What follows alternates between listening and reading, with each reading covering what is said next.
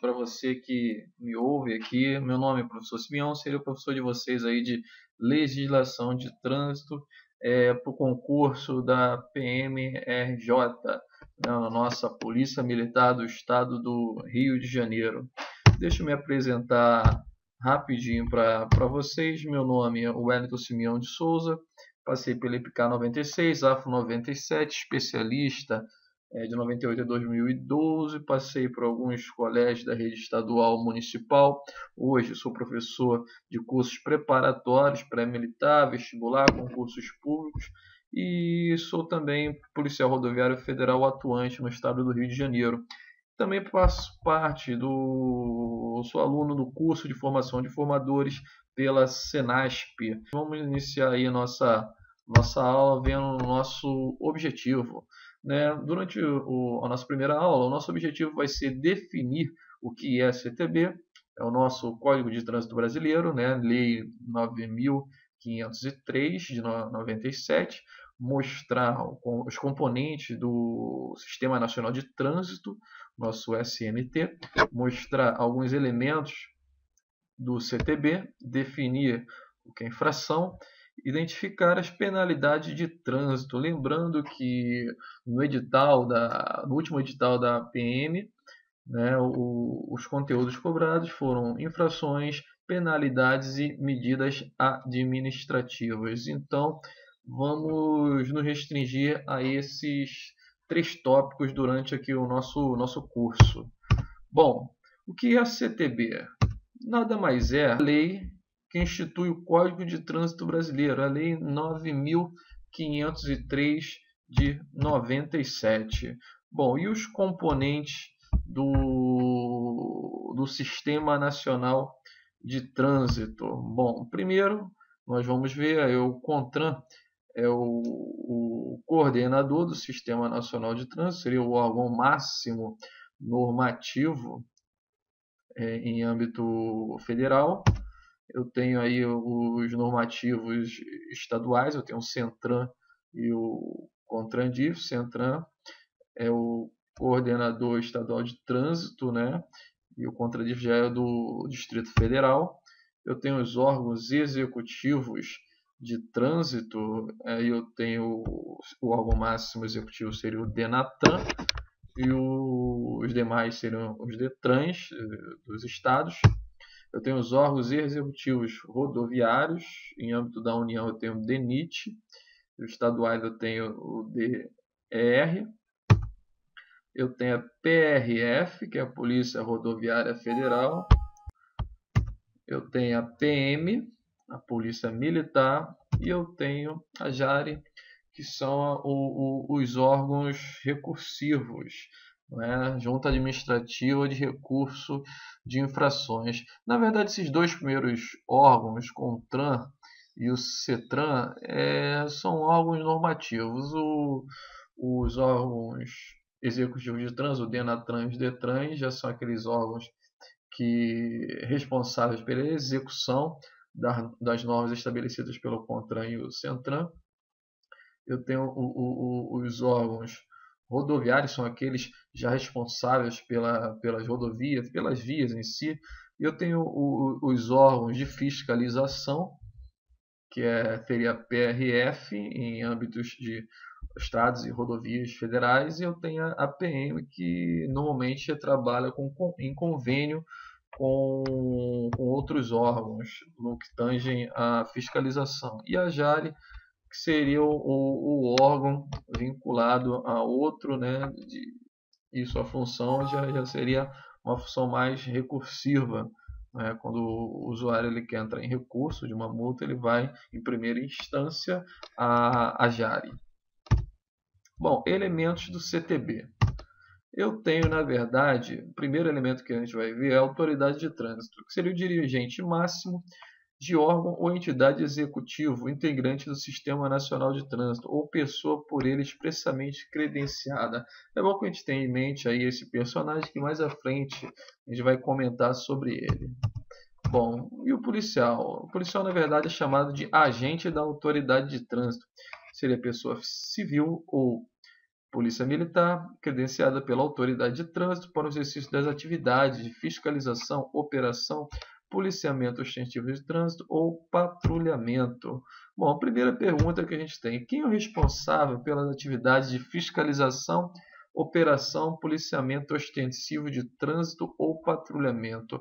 É claro que é a nossa nosso agente da autoridade de trânsito. Imagina a autoridade de trânsito indo para a via fazer fiscalização. Não, esse papel é do policial. Bom, e o importante também é saber a diferença entre condutor e proprietário. Eu coloquei aqui para vocês a diferença. O responsável pelas infrações na condução do veículo, o nome já fala, condução. Então, o responsável por todas as infrações na condução do veículo vai ser o nosso condutor e o responsável pelas infrações do estado de conservação do veículo. Esse já vai ser o proprietário do veículo. Tá legal? Porque, na verdade, o proprietário é responsável pela conservação, por manter ali a conservação do seu veículo. Bom, o que é fiscalização? Nada mais é do que o ato de controlar o cumprimento das normas estabelecidas na legislação de trânsito, por meio do poder de polícia administrativa de trânsito, no âmbito da circunscrição do órgão e entidades executivas de trânsito e de acordo com as competências definidas no CTB.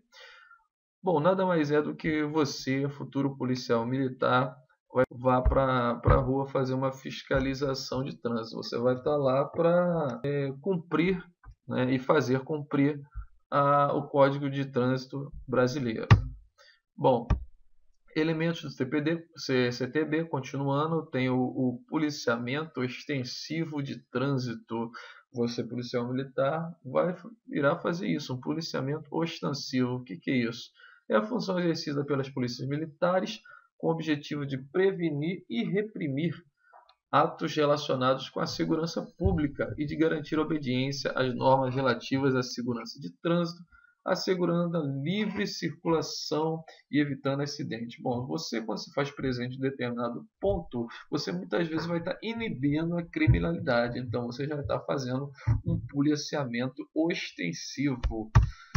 Bom, agora sim, gente, é, vamos de fato começar o, o conteúdo do do, do, do, da nossa prova. Não que a parte anterior tenha sido uma encheção de linguiça, mas é, é bom que a gente tenha aquele, algumas definições iniciais para começarmos de fato aí é, o nosso conteúdo da prova. Bom, na verdade, o que é infração, gente?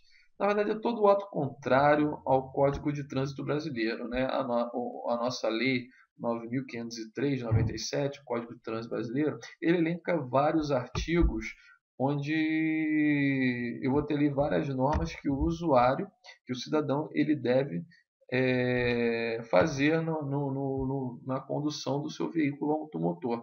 Caso ele, não, ele cometa algum ato contrário a essa, a, esse, a, a, a essa lei, ele vai ter que ter uma sanção né? e essa sanção vai ser chamado de penalidade. Então tá aí, ó. Se ele comete uma infração, vou ter que ter uma penalidade. Bom, mas quem aplica penalidade, né? no caso aqui a penalidade de trânsito, é o policial ou a autoridade de trânsito?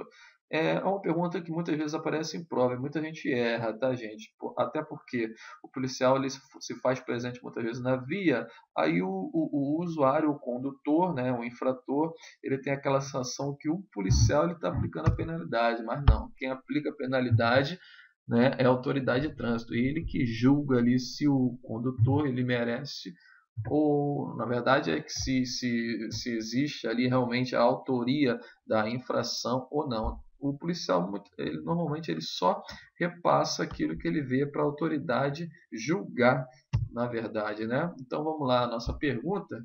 Quem aplica é, a penalidade de trânsito é a autoridade de trânsito ou agente da autoridade, né? Já sabemos que é a autoridade de trânsito. Bom, quais são os tipos de penalidades? Agora sim aparece muito na sua prova. Vamos ver uma por uma. primeira penalidade que a gente vai ver de trânsito é a nossa multa. A multa ela pode ter a natureza leve, média, grave ou gravíssima, sendo que é importante que você tenha em mente a, a natureza da, da multa e sua correspondente pontuação. Leve, eu tenho três pontos, está aí o nosso amiguinho aí, é, com a sua carteira nacional de habilitação. Se ele levar uma infração de natureza leve, ele vai ter três pontos na sua carteira, média 4, grave 5 pontos e gravíssima 7 pontos na carteira. Bom, então vamos ver aqui rapidinho uma questãozinha envolvendo natureza da multa e sua correspondente pontuação. Relacione a primeira a primeira coluna, é claro, é, de acordo com a primeira, com a relação à penalidade de multa. Vamos lá, leve, eu tenho a, pontua a natureza leve, né? Vamos marcar aqui. Eu sei que quando o cara comete uma infração leve, eu vou ter três pontos na minha carteira, beleza? Gravíssima, eu sei que eu tenho sete pontos, tá aqui, a B. Média, eu tenho é, é, quatro pontos, tá aqui, letra C. Grave, letra D, eu tenho cinco pontos, por exemplo, uma infração grave, andar sem cinto de segurança, eu tenho levíssima, gente, levíssima, isso não existe, tá bom? Então tomar cuidado. Então muitas vezes o, o cara da banca ele coloca para confundir até mesmo o candidato essa expressão levíssima, aí você confunde com gravíssimo e acaba perdendo a questão, tá? Vamos tomar cuidado com isso. Bom, próxima penalidade eu tenho uma advertência por escrito, tá? Muitas vezes o, o condutor ele pensa ali por por o policial estar na rua ali com o seu bloquinho fazendo algumas anotações, ele está pensando que está fazendo advertência. Não, é uma penalidade. Se é penalidade, o policial ele não pode aplicar, tá legal? Bom, a penalidade, na verdade, ela vai vir em substituição. Vai ser um pedido do, do condutor, infrator, para que ele para que seja feita a substituição da infração que ele cometeu de natureza leve ou média por advertência por escrito. Então, ele vai solicitar à autoridade de trânsito que converta essa infração leve ou média por advertência por escrito. Só que tem um porém. Essa infração, é, ele não pode ter sido reincidente nessa, nessa mesma infração, é importante você saber isso, porque não é qualquer infração, tem que ser na mesma infração. Então, se o condutor cometeu uma infração, por exemplo, é, de dirigir sem atenção, que é uma infração de natureza leve, né, artigo 169, então ele no, nos, no, no, nos próximos 12 meses, na, na primeira ele pode solicitar a substituição por advertência por escrito, já que é uma infração de natureza leve. Só que ele, nos próximos 12 meses, ele não pode cometer essa mesma infração é, e solicitar advertência por escrito. Tá legal? É só ele cometer uma, na próxima, em cima da mesma infração, ele já não vai ter esse benefício caso solicite. Tá legal? Bom, vamos completar aqui a frase. A advertência por escrito é uma penalidade que pode ser solicitada em substituição de infrações de natureza. Bom, você já sabe que a advertência por escrito é uma penalidade, então é a autoridade de trânsito quem aplica, tá? E vai ser sempre em substituição a infração de natureza leve ou média. Tá legal? Importante que porque é assim que cai nossa prova e é assim que a gente tem que saber, tá? Desde que não seja reincidente na mesma infração nos últimos 12 meses. Lembrando que não é qualquer infração, tem que ser a mesma infração. Tá legal?